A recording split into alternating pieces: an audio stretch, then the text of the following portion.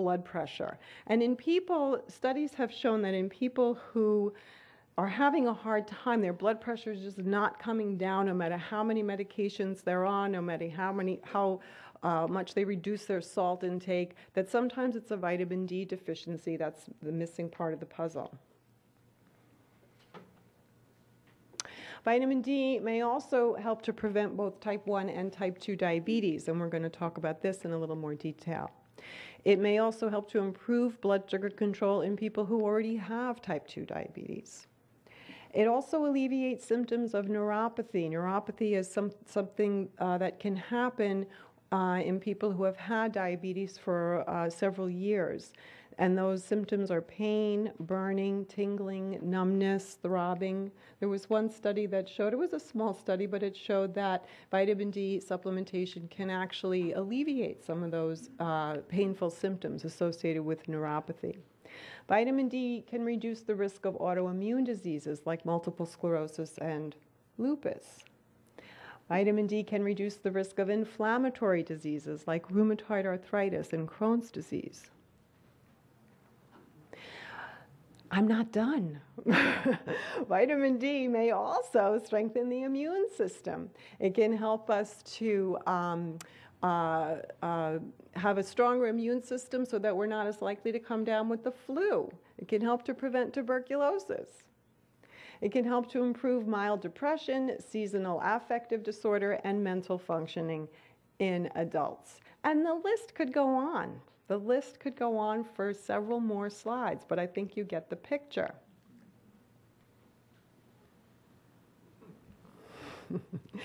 So ask your doctor if taking a pill to solve all your problems is right for you. Now, can one vitamin really do all these things? Is it really possible? Is there scientific evidence to support these claims, the claims that vitamin D can prevent or treat uh, or manage non skeletal diseases like cancer, heart disease, diabetes, kidney disease, other conditions? Well, what I want to do is I just want to take a few slides to talk to you about the different kinds of scientific evidence because I think this will really help you when you read these newspaper articles and magazine articles and the latest book that comes out on vitamin D will really help you to sort through and say, are these claims really well founded? Is there really good evidence to support these claims? Um, when, when we read a newspaper article or something comes across our email and, you know, vitamin D is proven to reduce the risk of breast cancer, is that, it's probably a, a blown out of proportion. So there's different kinds of studies. Um, the first kind is called a randomized controlled trial. I'm not going to go into detail here, but just so that you understand, the randomized control trial is the kind of study that's considered the gold standard. When you see a, a study that's been designed using the randomized control trial study design, then you know that that's a strong study. That's, uh, that is where a group of people are taken um, or a group of people are uh, recruited and they are randomly assigned to either, let's say, take vitamin D or take a sugar pill or a placebo. And then those people, again, preferably a large group of people, are followed over several years, and then the researchers see what happened. Who got diabetes, who didn't, who got cancer, who didn't, and they see is there a statistically significant difference between those two groups. That's a randomized controlled trial. These other uh, study designs, uh, cohort study, case controlled, cross sectional, they are, they are weaker study designs. They're scientific studies. They're certainly valid. They certainly have their place. But as far as the ability to test causal relationships, cause and effect, does vitamin D prevent cancer? Does vitamin D uh, help to improve blood sugar control? The way to answer that question is with the randomized controlled trials. These other studies are what's known as observational studies, where people are just followed over time or researchers simply observed what happened. They didn't randomly assign people to one group versus another group. So, just so that you have that kind of basic understanding, you're well ahead of the game when you start to read the information that you uh, find in the popular press. And most of the studies that are done on vitamin D are these observational studies, not the randomized controlled trials. Not to say that they don't have any value, but just to put it in perspective. Well, in the last year, there have been over 2,600 scientific studies published on vitamin D. We obviously are not going to go through all of them tonight. I'm just going to pick out a few uh, key studies. So let's look at uh, vitamin D in cancer. We'll talk about cancer, we'll talk about heart disease, uh, diabetes, and kidney disease.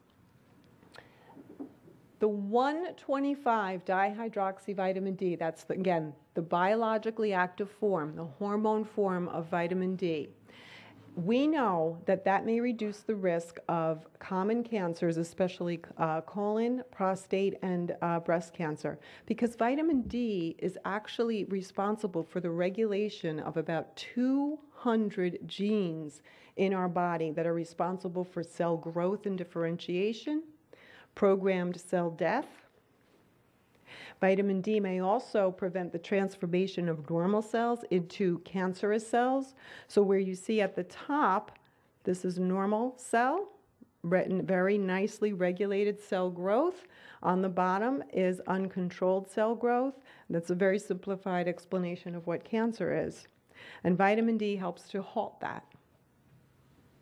Vitamin D also curbs the growth of new uh, blood vessels. Now, if you think about it, the only way cancer cells can grow is if there's blood vessels feeding the cancer cells oxygen and nutrients. If those cancer cells don't have those blood vessels, they'll die off, they'll starve off.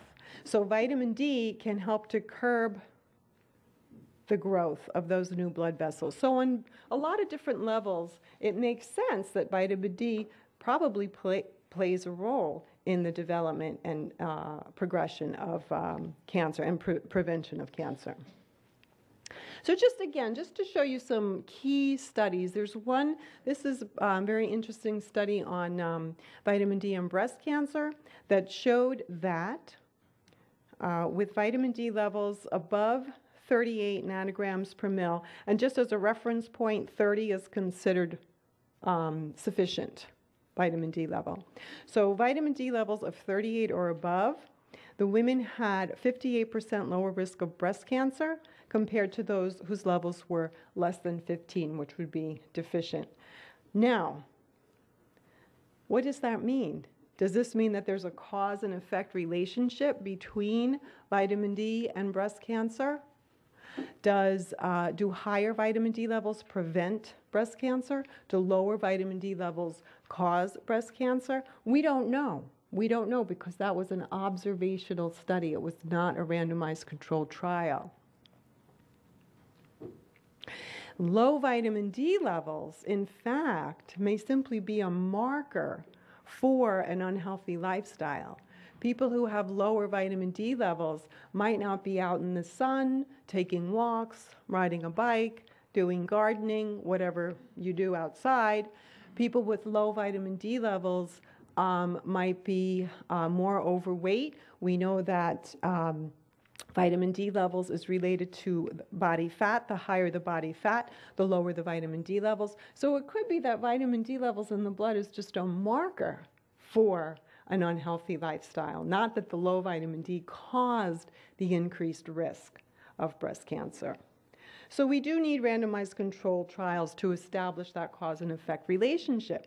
And we have one, but just one. But it's an interesting one. Um, this is a randomized controlled trial of nearly 1,200 postmenopausal women.